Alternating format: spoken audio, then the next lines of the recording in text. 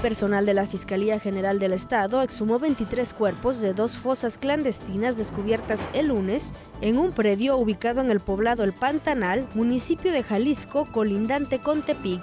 En ese mismo lote fue hallada el sábado otra sepultura de la cual se sacaron nueve cadáveres, con los cuales suman ya 32, informó el colectivo de Familias Unidas por Nayarit, integrado por ciudadanos con familiares desaparecidos.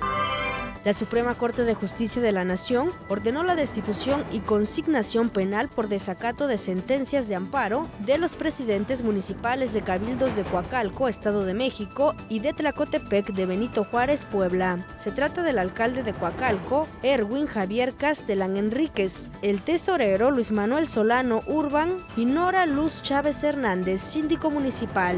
En el primer caso, son acusados de incumplir con una sentencia de amparo de 2013 por despido injustificado al pago de salarios caídos, prima vacacional, aguinaldos y otras prestaciones. Y a las autoridades de Puebla se les acusa de incumplir con un amparo en contra de una orden de ocupación y despojo de una fracción de un inmueble que se utilizó para la construcción de un deportivo en el municipio.